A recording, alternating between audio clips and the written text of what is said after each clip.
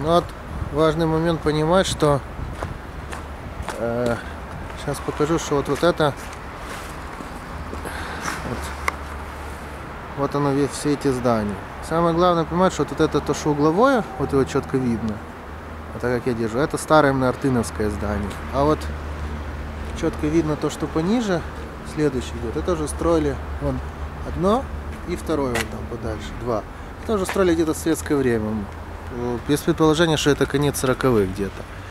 И вот как раз вот это старое здание сохранилось в самом лучшем состоянии. Это единственное место, единственное из оставшихся ну, зданий в этом комплексе, куда можно попасть на второй этаж. В остальных никак нельзя, потому что перекрытия во всех э, более современных советских зданиях старые, и все погнили. И там внутри просто все завалено. А вот на этом, как ни странно, дореволюционном, которое старее минимум в два раза вот этих зданий, э, оказалось крепче.